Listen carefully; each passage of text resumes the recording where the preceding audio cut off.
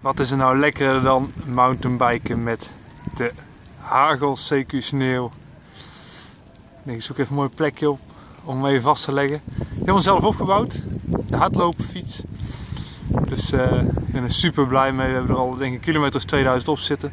En het bevalt echt super goed. En uh, vandaag hebben we rondje dorst gedaan.